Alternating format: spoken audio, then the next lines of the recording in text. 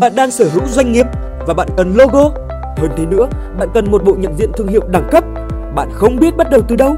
Thậm chí, bạn còn chưa có bất kỳ ý tưởng nào. Hãy để chúng tôi giúp bạn. Bằng sự sáng tạo và tâm huyết của mình, chúng tôi sẽ mang đến cho bạn những logo đẳng cấp nhất, tuyệt vời nhất.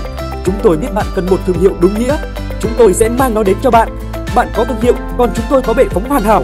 Mebo, bệ phóng cho doanh nghiệp. LG chào bán nhà máy smartphone tại Hải Phòng giá hơn 2 tỷ. Theo báo chí Hàn Quốc, LG đã cân nhắc các phương án để tối ưu hoạt động sản xuất tại các nhà máy trên toàn cầu của mình. Ngay sau khi công bố quyết định rút khỏi thị trường smartphone, LG Electronics đang tiến hành các bước tiếp theo để dừng hoạt động sản xuất tại các nhà máy ở Hải Phòng, Việt Nam, Tabate, Brazil và Qingdao, Trung Quốc. Theo báo chí Hàn Quốc thì LG đã cân nhắc nhiều phương án để tối ưu hoạt động sản xuất tại các nhà máy này nhưng không tìm ra được giải pháp đột phá.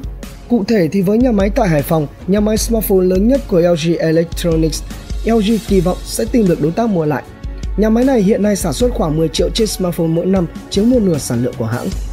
Tuy nhiên thì Business Korea cho biết rất khó để LG có thể tìm được một đối tác thích hợp bởi vì các hãng smartphone Việt Nam đều đã có nhà máy riêng.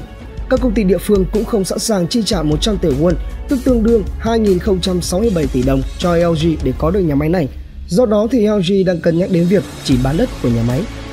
Câu chuyện tương tự cũng xảy ra với các nhà máy tại Tabate và Qingdao. Với công suất 8 đến 9 triệu chiếc smartphone mỗi năm, LG sẽ gặp khó khăn trong việc bán cả dây chuyền sản xuất.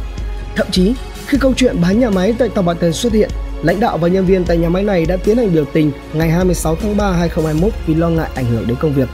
Theo cập nhật từ The Korean Herald cho biết, phương án khả thi nhất được lãnh đạo LG đưa ra đó là đóng cửa hoàn toàn các nhà máy ở nước ngoài trong thông báo chính thức ngày 5 tháng 4 2021, LG cho biết rằng họ đã lên kế hoạch chuyển đổi các cơ sở ở nước ngoài cho mục đích khác. Một nguồn tin thân cận với vấn đề cho biết, một vài cơ sở vật chất sẽ được chuyển đổi cho mục đích khác, một vài thứ khác không phù hợp cho việc chuyển đổi sẽ được bán. Những người công nhân tại nhà máy của LG tại Brazil cho biết, nhà máy này đã cắt giảm một nửa sản xuất, khoảng 15.000 công nhân làm việc tại đây, trong đó có 400 người lắp ráp điện thoại các công nhân tại đây đã làm việc với ban quản lý nhà máy vào ngày 6 tháng 4 2021 để thống nhất về mức đền bù và những ngày làm việc còn lại của họ.